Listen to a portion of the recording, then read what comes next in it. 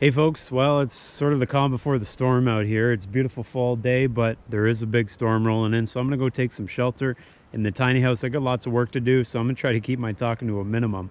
So just so you know, that's where we're headed. I got that interior to finish. If you've seen in my last videos, that's a big job. So let's do uh, let's do a little less talking today and do a little more working. So heading into the tiny house. Here we go. Hey folks, welcome back. As you can see, I'm in the tiny house. I got all my workwear on because I'm going to actually do some work today and I'm going to try to limit my talking. But before I do so, I want to give some props to a guy named Rob. Uh, Rob, if you're watching this, thanks very much. I'm using your tip today. And the tip is basically about how you hide the gaps between wood when you install it on the interior surface of like a tiny house. If you saw my last video, when you put two pieces of wood side by side and you just butt them, eventually what happens due to expansion and contraction, you might have some shrinkage of that wood. And as a result, you can see between the wood and you end up seeing stuff like this pink insulation in behind and it looks horrible. Rob gave me this idea that you can use felt paper in order to put a black surface behind that wood that butts up so that when it does open, all you see is that felt paper, which is black and pretty uh, looks pretty good. So that's what I'm doing today. So thanks, Rob. And oof, here's what I did.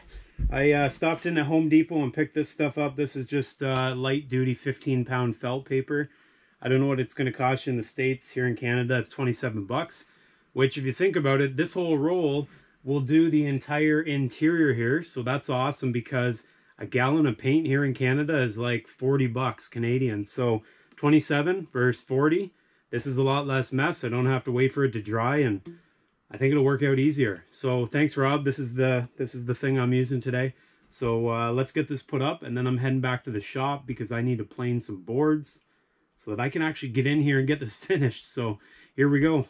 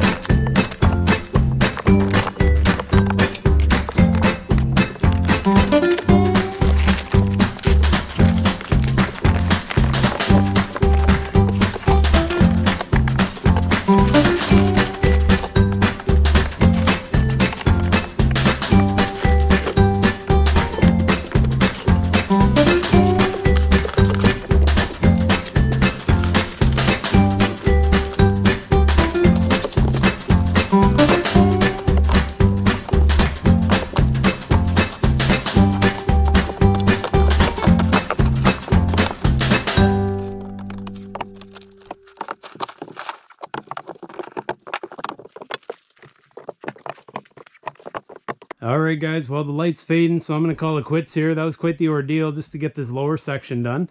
So as you can see, from floor to ceiling, well, to the top of the wall instead, I guess. I got that done. Still have to do up top there.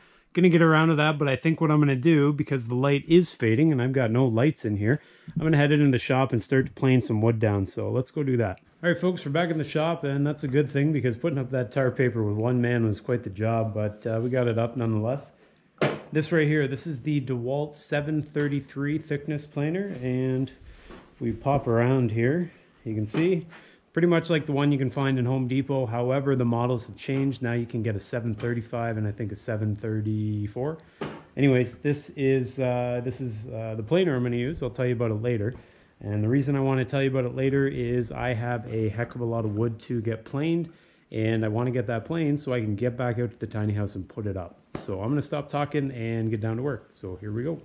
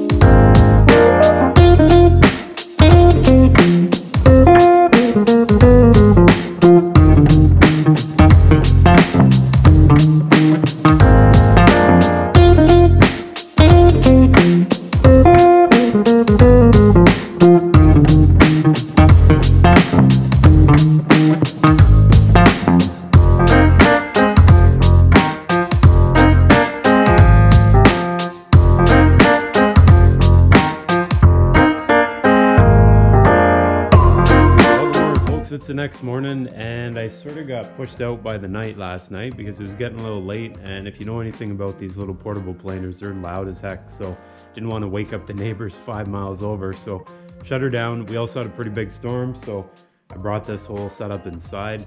Uh, day went well though. I got some work done yesterday. I'm gonna get that wood that I did mill or did uh, plane put up in the tiny house. So that's what's coming next. Anyways, it was a long night, so I'm a bit pooched here. I'm probably going to be moving a bit slower today, but regardless, I appreciate all you guys tuning in, and make sure you come on back next time when I'll be putting up the wood on the inside of the tiny house. So thanks for watching, folks, and we'll see you all then.